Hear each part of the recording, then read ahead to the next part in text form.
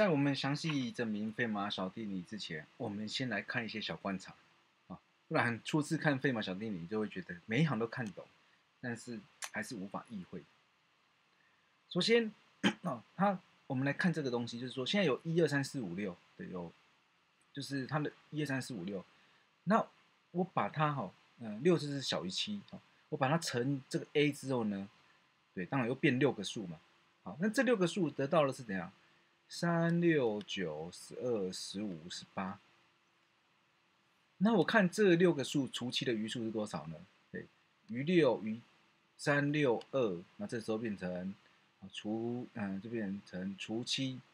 是那个余五，对，那除七这时候是那个嗯，其实它是每次加三了，就是呃五加三八一，好是四，好，所以其实它余数当然就是每次加三加三加三加三。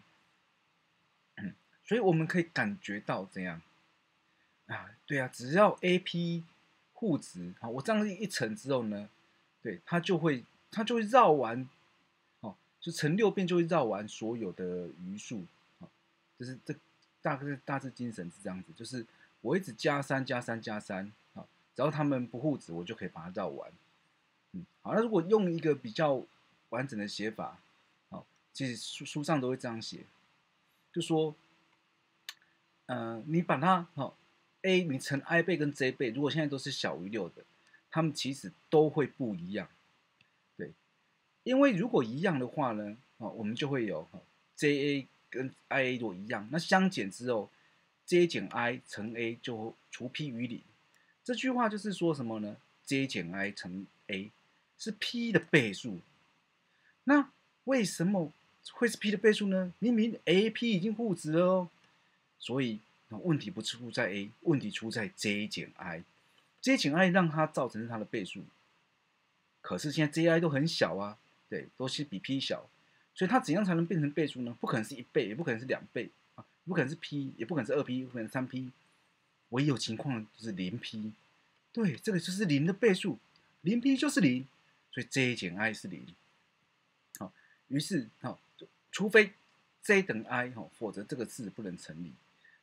所以一开始，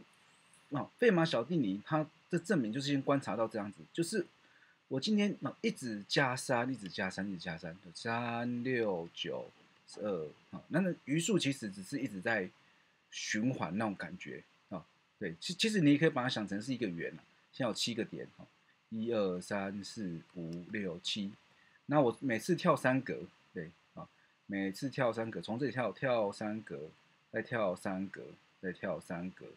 好，这样子其实可以把每一格都跳完，对，好，对，都跳完，最后跳回来，好，所以这这个观察要先有，好，那待会我们就可以用这个观察来证明费马小定理。